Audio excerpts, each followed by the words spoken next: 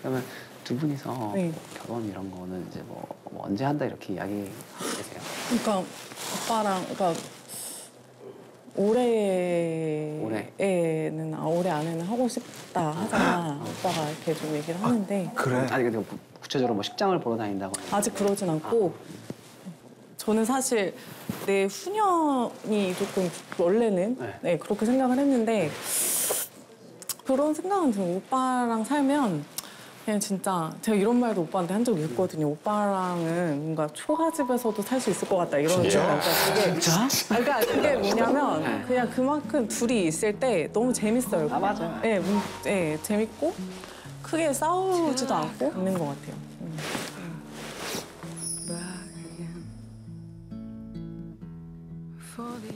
아니 사실 여쭤본 게 그러니까 남편한테도 한 번 물어봤었어요 아. 전에 너뭐 이제 이렇게 결혼 뭐 이렇게 뭐 바로 하는 거 아니냐 음. 왜냐면 둘은 어쨌든 막 너무 좋다라고 하니까 네. 저는 아, 2021년에 결혼할 수도 있겠다라고 막 생각을 했었거든요 그 정도로?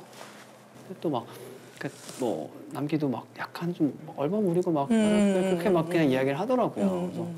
그래서 뭐지 막, 막 이랬었어요 아. 그냥 왜 이렇게 얼버무리지 막 아. 네.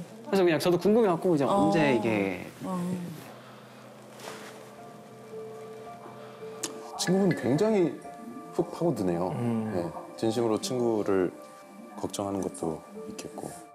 근데 뭔가 부모님은 이제 막 조금 그렇게 빨리 예, 약간 음, 약간 이러신 게 있었는데 작년에 작년에 한번 좀 오빠가 그런 거는 얘기한 적이 있어요. 약간 네.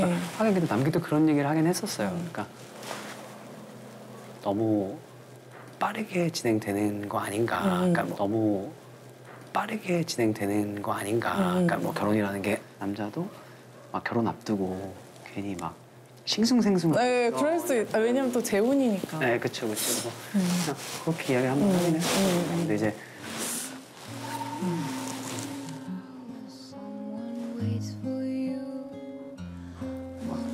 봤다고 남한테 말씀. 아, 네네. 그냥 네. 네. 아이고.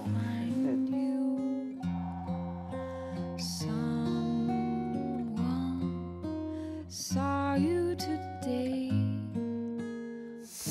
근데 나는 어, 약간 네. 씨가 표정이 약간 처음처럼 밝지만은 않은 것 같아. 음. 그러게요.